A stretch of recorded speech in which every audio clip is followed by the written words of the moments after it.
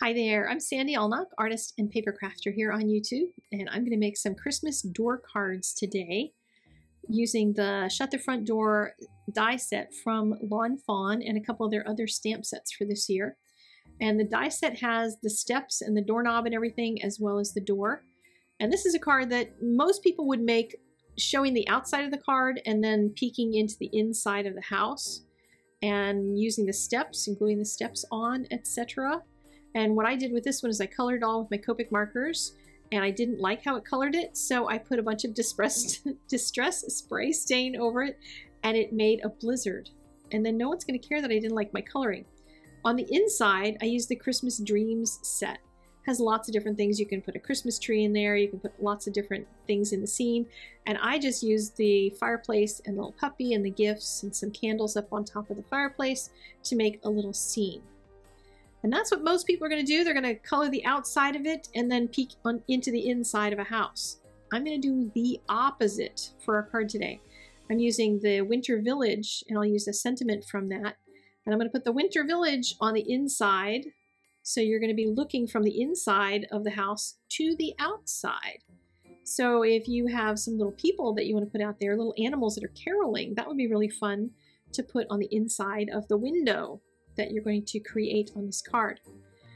When you die cut it, it's going to make the door at this rectangle, but it's going to leave an empty door in the piece of paper that you die cut it in. So if you cut it in the center, then you can use that panel the way I'm going to.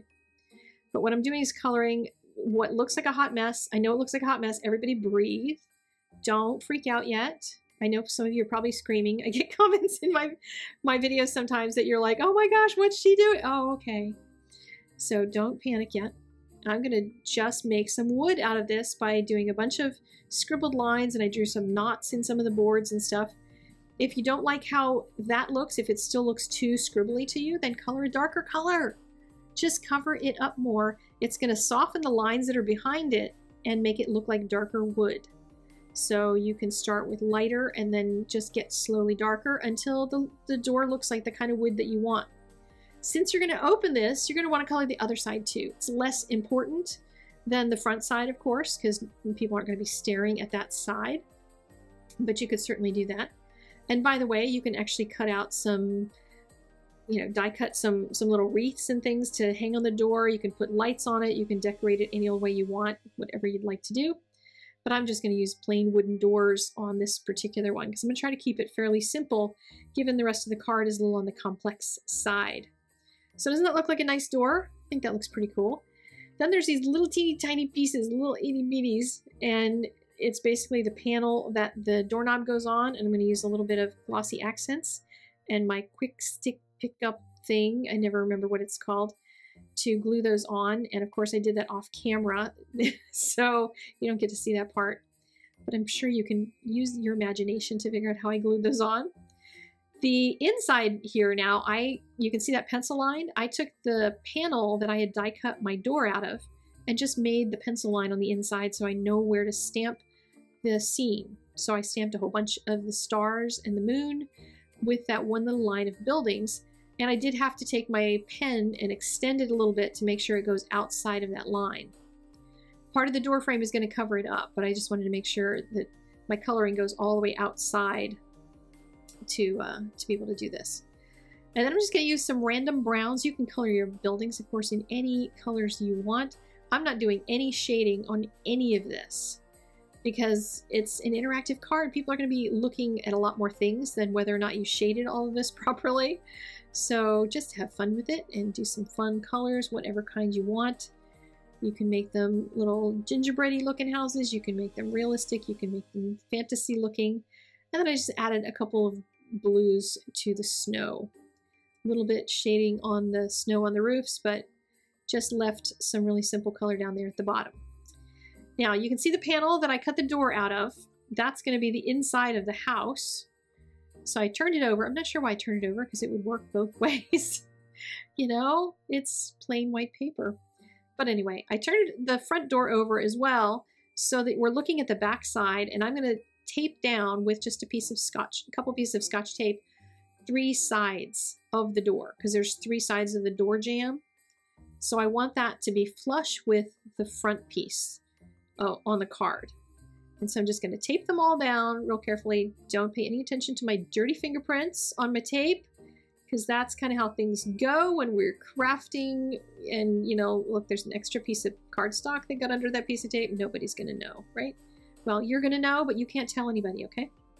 If you get this Christmas card from me no tearing it apart to find that little thing. So I used a block to just kind of bend that door because I forgot to get it you know kind of started so that it, it opens nicely. But now you can see when I put it over top of that panel I colored how nicely that little scene is going to show through.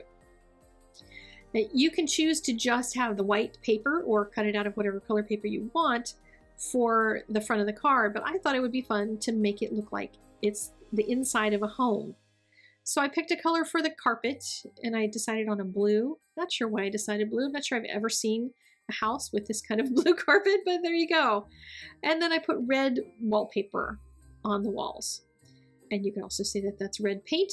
But if you are anything like me and have trouble with trying to get a large flood of color to be good and even, then I'm going to show you a trick at the end of the video for fixing that.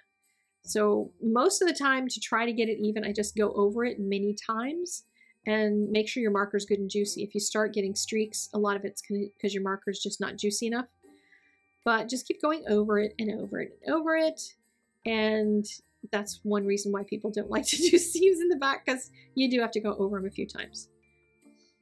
And what I'm going to do next now is I'm running some of the Be Creative tape all along the edges and I'm putting it around that the back of the door jamb because I want that door jamb securely onto the back of the card or the back the front of the panel that I colored because I don't want that popping up. I want the door to open nicely and then I put some skinnier Be Creative tape all the way around the outside edge. You can also use some kind of tape runner, whatever you use. But I find that the Be Creative tape is so sticky that when I have an interactive card and I don't want it to fall apart while they're opening and closing and opening and closing because you know you're going to get a kid who's going to come over and want to play with it and stuff. So it'll hold it together better. So now I can just take that panel, stick it upside down. That's my house panel that I colored and line it up and it should all work just fine when I turn it over and you can see that little little scene appears in the middle. Isn't that cute? So now, in order to make the wallpaper look like wallpaper and disguise the fact that I did not have really good success in coloring my background, I'm taking a white Sharpie. Yes, there is a white Sharpie. I showed you this recently for making snow. When you make lines like this, it doesn't show up very much, but look how nice it makes sort of the ribbing on wallpaper and gives it a little bit of texture without giving it too much. And it softens as it dries, so it just gives you that really nice, real soft look. So there is the finished card, which I think came out stinking cute for being something that was as quick and easy as it was. I thought this was going to be a harder card, but a couple of browns to color that door, do your scene real quick, and you can even have the kids help you decorate the outside. You could use patterned paper for the outside and make some really pretty stuff, you know, like like wallpaper and things. And here's stills again of the one where I colored my crazy wild bricks that don't actually line up. I hope that no one lives in that house because the bricks might fall off.